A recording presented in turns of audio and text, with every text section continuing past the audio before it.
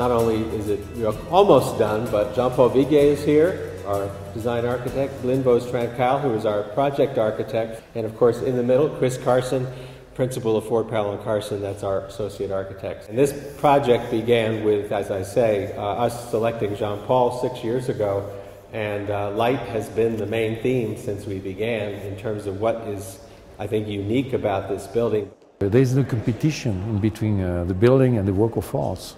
The most important is, uh, is the exhibition itself, not the building. Uh, the walls that, that you see are completely removable partition, partition. We can't take them away as, as, as we want. If the museum wants it, uh, we can have one single space from, from, the, from the entrance hall to the end, which makes a huge uh, space for any type of exhibition.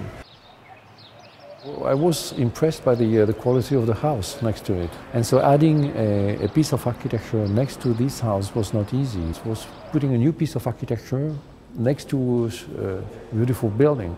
So when you do that, you have to do it with no compromise, including the technology which I've used for particularly dealing with the light. I've used light as a, a way to build this museum. It's like a material. It creates the ambience and you prevent the direct light from reaching the inside of the museum. The uh, translucent glass, it has to diffuse the light to equalize the light. Motorized shades, these two shades are used to adjust the light. Jean-Paul kept the profile of the building very low and there's two stories to it, so we're built into the slope of the hill to preserve that low roof line so it would never overpower Mrs. McNay's original home. And this was for me a, quite a challenge. This to design an architecture of the 21st century, but which belongs to this region. We worked, as you can see it, with colors. That's why we used the bronze, for instance, for the metal.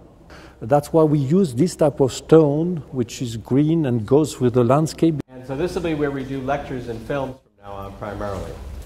And so those will no longer take place in the Leeper Auditorium, which we'll use more heavily then for events and also still for musical programs.